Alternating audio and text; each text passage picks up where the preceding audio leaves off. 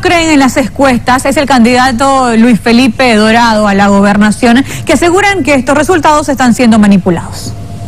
Nosotros desconocemos totalmente las encuestas, ya esta encuestadora no tiene credibilidad en el país ni en Santa Cruz. Siempre se ha equivocado con más de un 15%, un 20%. Y eso no vamos a permitir nosotros como agrupación de que sigan queriendo manipular el voto de la gente. Es un insulto a la inteligencia del cruceño querer ahorita querer manipular el voto de los cruceños. Nosotros estamos viendo una intencionalidad de querer crear en este momento otro Rubén Costa en Chico, en este momento en Santa Cruz. ¿Para qué? Para negociar a Santa Cruz con los gobernantes. Santa Cruz tiene que despertar.